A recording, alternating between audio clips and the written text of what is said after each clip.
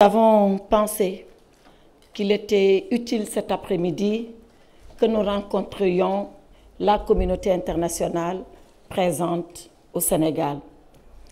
Si nous avons tenu à le faire, c'est parce que les circonstances sont graves.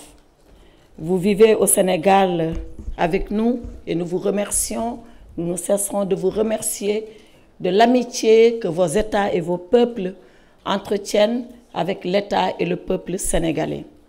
Et vous n'avez pas manqué de vivre ce que nous avons vécu depuis le 1er juin 2023, c'est-à-dire ces manifestations extrêmement violentes, extrêmement graves, ces circonstances particulièrement difficiles et dures qu'a vécu le peuple sénégalais et avec vous-même présent ici au Sénégal. Alors, nous allons échanger autour de ces événements.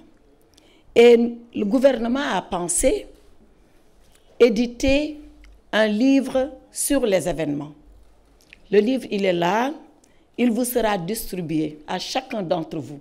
Il aura son exemplaire à tête reposée, il pourra le lire, il pourra le confronter avec les éléments que lui-même détient, il pourra le confronter avec ce qui s'est passé en réalité, il pourra le confronter avec sa propre conviction pour se faire lui-même une religion à partir de ce que le gouvernement dira cet après-midi. Il est entendu, mesdames, messieurs les ambassadeurs, que vous avez la latitude, la, la, volonté, si vous le voulez, de façon large, sans tabou, de discuter de tout.